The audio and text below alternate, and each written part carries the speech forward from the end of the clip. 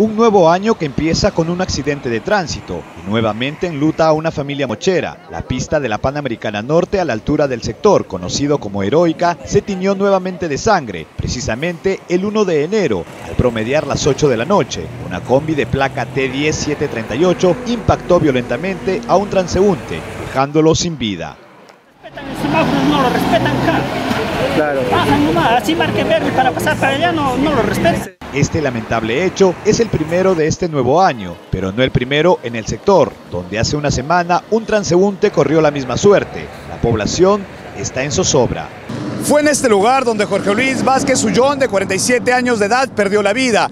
En la pista todavía vemos las evidencias del fuerte impacto que dejó sin vida a esta persona. Este sería el primer reporte de muerte en este año por accidente de tránsito. Días atrás, en este mismo lugar, también una persona falleció. La irresponsabilidad de los transeúntes y de los conductores serían las causas. Todo esto se evitaría si respetaríamos las señales de tránsito. El exceso de velocidad y el consumo de alcohol serían las causas de estos accidentes de tránsito que hasta el momento son incontrolables. Ambos partes tenemos la culpa, pero la mayoría solo el transportista que tiene la culpa.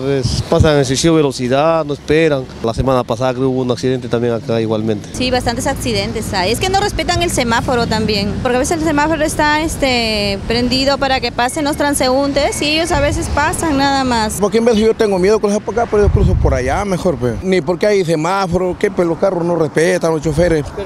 En este accidente, el chofer de la combi, identificado como Jaime II Briseño Sevillano, que hacía la ruta Miramar-Florencia de Mora, se dio la fuga. El caso ya se encuentra en investigación por parte de la policía. Se supo que la persona fallecida es de bajos recursos económicos y sus familiares esperan ayuda para darle cristiana sepultura. La población exige una pronta reacción de las autoridades.